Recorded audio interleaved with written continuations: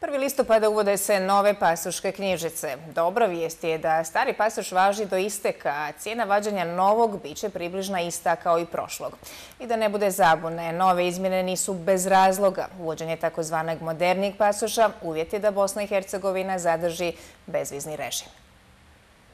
SAK ili pasoš treće generacije je unaprijeđena verzija sadašnjeg pasoša sa boljim sigurnosnim standardima i većim kvalitetom. Razlika je u tome što će pasoš e, imati e, prvu stranicu koja će biti e, polikarbonatska u odnosu na sadašnju i u jednom sloju polikarbonata će se nalaziti taj čip, upisani naši podaci, naša fotografija sa slikom. Dakle, sigurnosti elementi su mnogo, mnogo bolji u odnosu na sadašnji pasoš. Masovnih zamjena pasoša neće biti, što znači da građani neće imati određen rok do kojeg moraju zamijeniti stare pasoše. Svi će važiti do datuma koji se nalaze u pasoškoj knjižici. Pasoš koji trenutno imamo su uvedeni 2009. godine i oni su u početku važili e, 5 godina. Mi smo prošle godine u julu produžili njihov rok na deset godina. Dakle, vi ako danas izvadite pasoš, on će vama važiti sljedećih deset godina bez obzira na promjenu sami pasoške knjižice. Sa izdavanjem novih pasoša BiH počinje od oktobra ove godine i ne samo u BiH. Ovu obavezu imaju i sve zemlje koje imaju bezvizni režim sa Evropskom unijom i žele ga zadržati.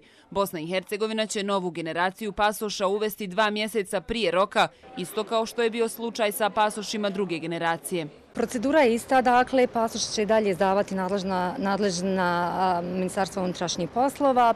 Zahtjev za pasoš se podnose na lokacijama MUP-ova u mjestu prebivališta. Građani neće osjetiti promjenu u proceduri. Dakle, procedura će uglavnom biti ista, a samo će biti promjena u odnosu na pasošku knjižicu. Cijena će, kažu u ideji, biti približno ista kao i cijena zamjene pasoša koji je istekao.